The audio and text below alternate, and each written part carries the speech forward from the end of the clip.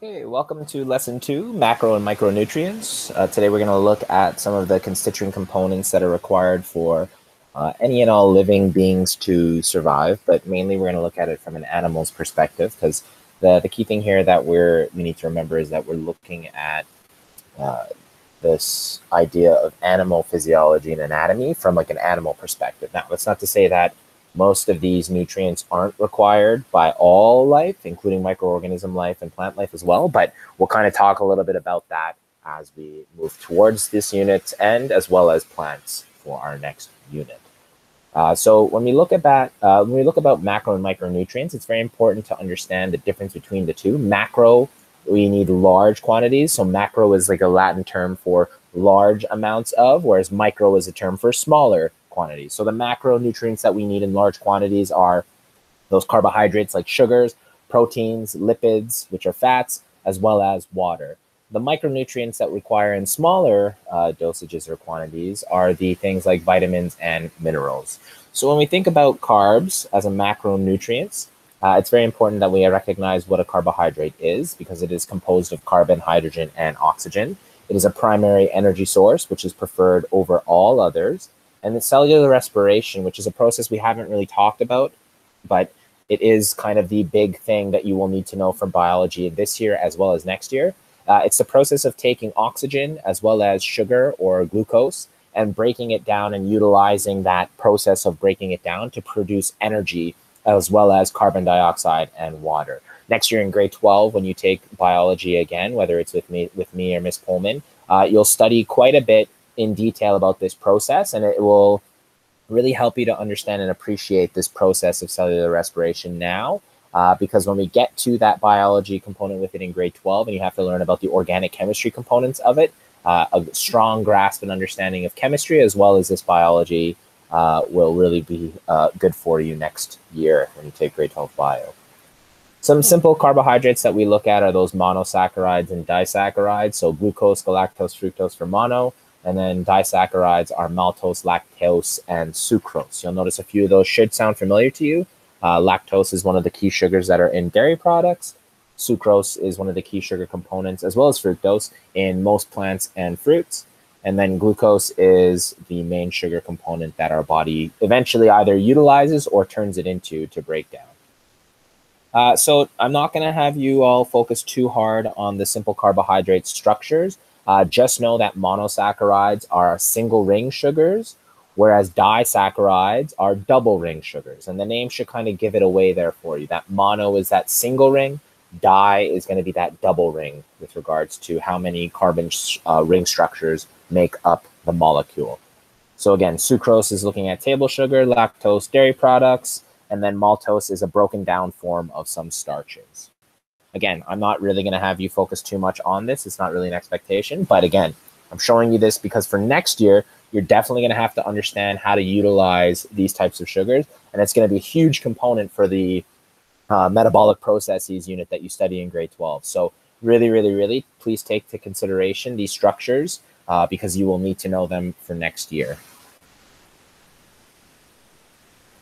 With regards to complex carbohydrates, it's important to recognize that uh, these simple sugars join together to form polysaccharides, poly meaning many, so many saccharides or many sugars.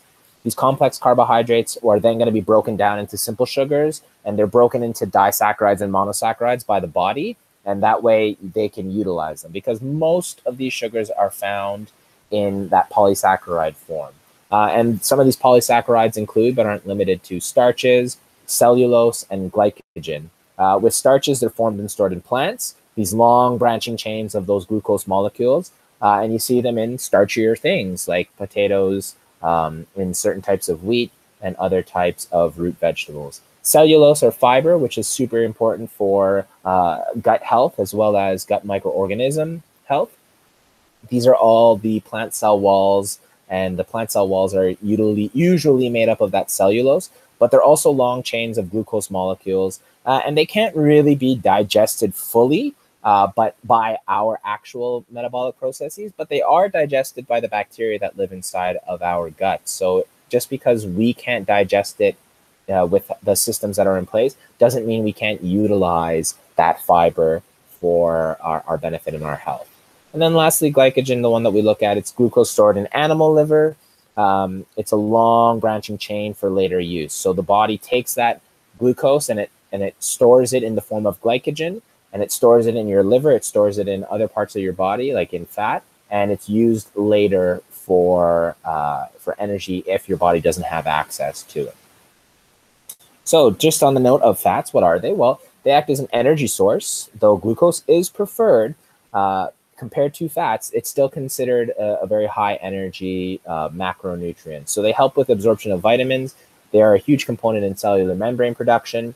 They also help provide insulation for human beings as well as other animals. And the uh, the systems that are that communicate with the brain and the brain communicates with, they take fats and they utilize those for what's called hormones or steroid hormones, and that's a way for which the body can communicate with different systems. It's made up out of a triglyceride, which is a glycerol plus three fatty acid chains. And again, it's important to recognize here. I'm not going to have you know the structures off by heart, that you bet you're going to have to know it for next year. So please take it uh, seriously when you look at these structures. The key thing here is that the changing uh, in the three fatty acid chains will change the actual property of the fat. So a, a trans fat versus saturated fat versus unsaturated fat is looking at how saturated or how the fatty acid chains behave and act. So when you look at a saturated fat, they're usually solid at room temperatures like butter or any type of animal fat and they tend to be less healthy simply because they are saturated and their chains look a little bit different.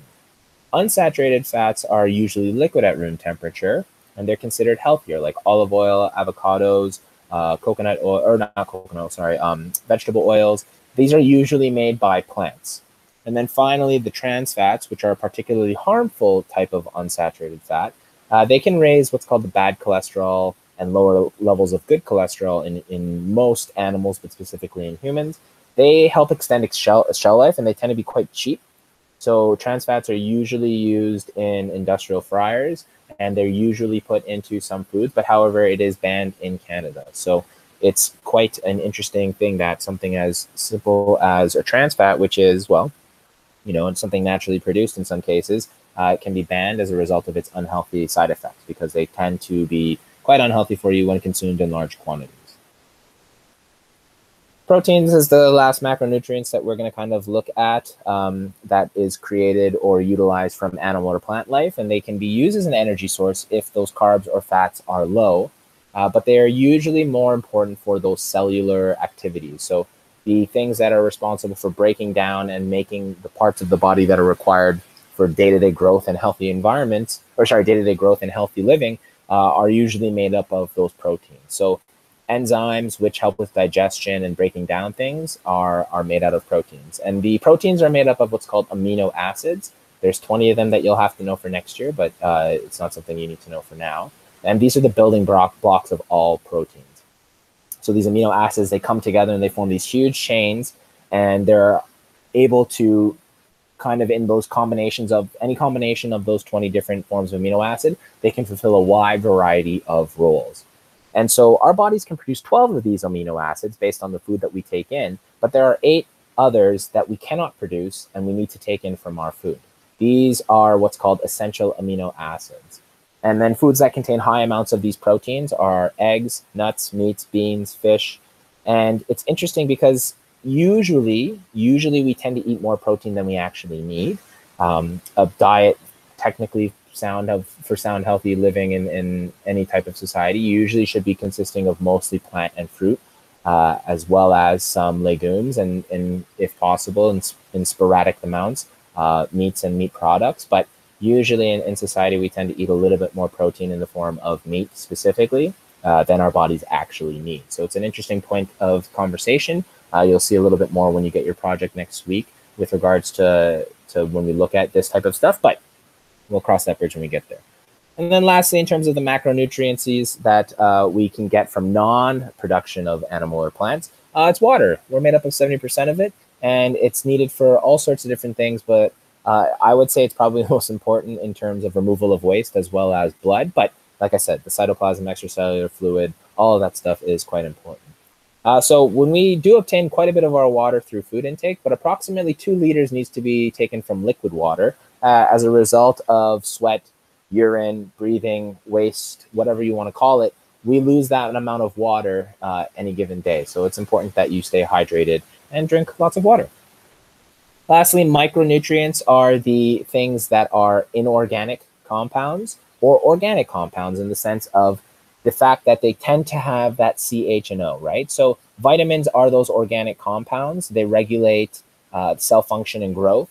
They tend to be water soluble in the cases of vitamin B and C, and they cannot be stored in the body. So excessive quantities are, are excreted in urine. So that's why if you take a multivitamin, uh, your urine tends to be a little bit darker and it tends to have more of those vitamins dissolved in it because your body can only absorb so much of it and it needs to be consistently replenished through your diet. Vitamins A, D, and E are what's called fat soluble and they can be stored in fat tissue uh, for later use. And it's interesting because it's healthy for you to take in those vitamins, but if you have too many in your body at any given moment, uh, it can be actually become toxic as a result of the processes that those vitamins eventually lead to. So it's uh, health again, healthy diet, well balanced diet is the best way with which to get these vitamins, these large organic compounds into your body. Uh, the inorganic compounds or those minerals are elements from the periodic table. So things like sodium, like in sodium chloride or salt, calcium, which is uh, very important for women, especially as they get older because their bone density tends to decrease uh, over time, depending on if you have osteoporosis in your family or not. But even just generally, it tends to happen for all people, but more specifically for women. And then lastly, iron, or which is really important for our red blood cells, which we kind of talked about in genetics, and we'll talk more about in this unit. Okay, folks, uh, that's it. If you have any questions, please don't hesitate to ask. Uh, I'm going to talk more about the project towards the end of this week, and I'll post it sometime next week for you all. And again, like I said in my my stuff yesterday, it's probably going to be the last assignment. Uh, we may do one more quiz on top of that, but we haven't yet decided. So if you have questions, please reach out and let me know. Otherwise, take care, folks.